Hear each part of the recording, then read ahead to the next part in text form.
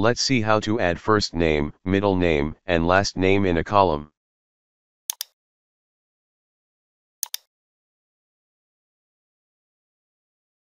Now type equals, concatenate.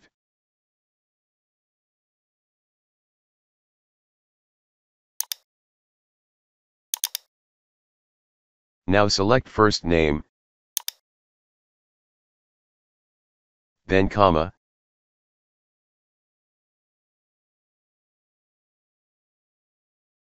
then quotation, then space, then quotation, then comma, then middle name,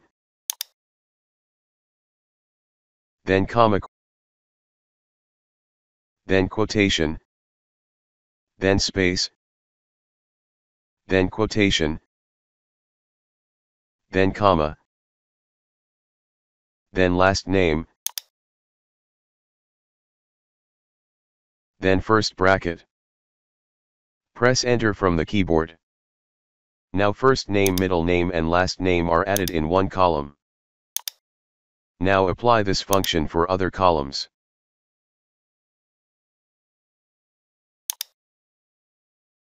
Thanks for watching. If you like my video, please subscribe and share.